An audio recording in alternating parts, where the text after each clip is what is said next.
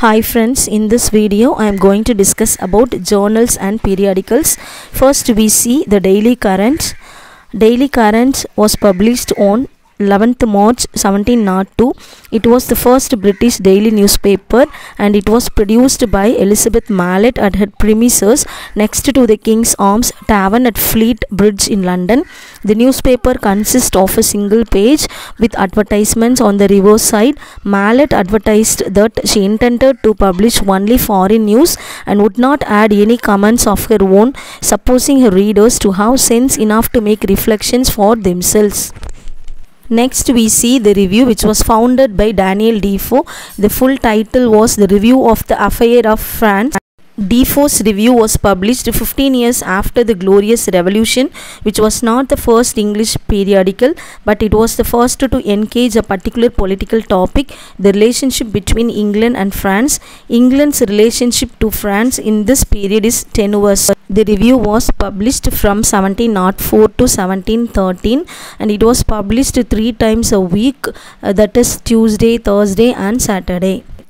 The next journal, The Tatler, which was founded by Richard Steele in the year 1709, who used the pen name Isaac Bickerstaff. This is the first known such consistently adopted journalistic persona, which adapted to the first person as it were the 17th century genre of characters, as first established in English by Sir Thomas Overbury and then expanded by Lord Shaftesbury's characteristics. Steele's conceit was to publish the news and gossip heard in various London coffee houses, and so he declared in the opening paragraph to leave the subject of politics to the newspapers. The Tatler had total 271 essays, and Addison contributed 42 essays, and Steele contributed 188 essays, and rest of the essays were written in collaboration. The Tatler was published thrice a week, that is Tuesday, Thursday, and Saturday. The purpose of the Tatler was to expose false art of life, to pull off the disguises of vanity and affection. Next, we see the female Tatler. The female Tatler was a popular scandal sheet published in London in 1709 and 1710. Purportedly, it was written by women, first by Mrs. Crackenthorpe and then taken over by a society of ladies in circulation for less than one year, 1709 to 1710. One of the first periodicals written primarily for, though not aimed solely at an audience of women, the female Tatler charmed early 18th century Londoners with its lively wit and scathing satire. It nevertheless marks an important point in magazine publication history and in female authorship and readership. The female Tatler is often passed over, especially in relation to its the female Tatler was the counterpart and inspiration for Richard Steele's periodical The Tatler, yet the female Tatler capably stands on its own. Mrs. Crackenthorpe and her successors poked fun at London's well known citizens three times every week. Next, we see The Spectator. The Spectator was a daily publication founded by Joseph Addison and Richard Steele in England. It, it was lasting from 1711 to 1712. Each paper, a number was approximately 2500 words long, and the original run consisted of 555 numbers beginning on March 1st, 1711. These were collected into seven volumes. The paper was revived without the involvement of Steele in 1714 which was appearing thrice weekly for six months. And these papers when collected formed the eighth volume eustace budgell a cousin of addison's. And the poet john hugh also contributed to the publication here Addison contributed 274 essays and Steele contributed 236 essays. The purpose of the spectator to enliven morality with wit and temper with wit morality. The next journal is The Guardian, which was started by Richard Steele on 12th March 1713 and lasted up to October 1st 1713. It was a short lived newspaper published in London. Joseph Addison, Thomas Tickell, Alexander Pope, and Ambrose Philips were the contributors for this journal, The Guardian.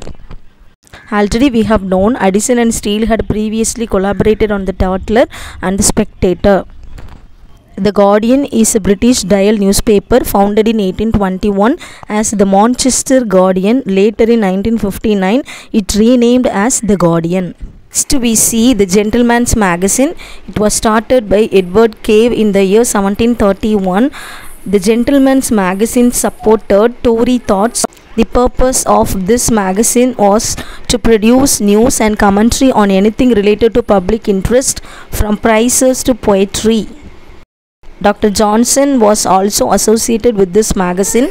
The term magazine was first used here by Cave. It was a monthly magazine. It was founded in London, England. It ran uninterrupted for almost 200 years until 1922. It was the first to use the term magazine from the French magazine meaning storehouse. Dr. Samuel Johnson's first regular employment as a writer was with the Gentleman's Magazine. The original title was The Gentleman's Magazine or Trader's Monthly Intelligencer. Cave's innovation was to create a monthly digest of news and commentary on any topic the educated public might be interested in, from commodity prices to Latin poetry. It carried original content from a stable of regular contributors as well as extensive quotations and extracts from other periodicals and books. Cave edited the Gentleman's Magazine under the pen name Sylvanus Urban. Next, we see the London Magazine. It was founded by Isaac Kimber in 1732 and it was lasted in 1785. Stephen O'Brien was the editor of this magazine. It was published bi monthly. The purpose of this magazine was to support art and literature. Famous figures like Wordsworth Keats were associated with this magazine. The London Magazine is the title of six different publications that have appeared in succession since 1732. All six have focused on the arts, literature, and miscellaneous topics.